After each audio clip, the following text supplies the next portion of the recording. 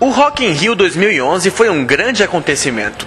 Trouxe importantes bandas internacionais, levou milhares de pessoas à cidade do rock e movimentou um grande fluxo de dinheiro.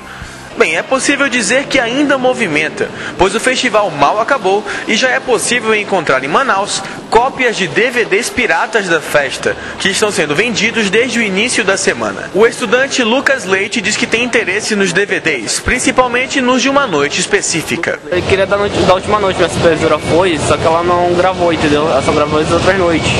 Aí eu queria da última. Bem, para a tristeza do Lucas, por enquanto apenas os DVDs da primeira noite do Rock in Rio estão disponíveis mas os vendedores garantem que nas próximas semanas as outras noites do festival vão estar à disposição disposição do público. Os DVDs, show extras,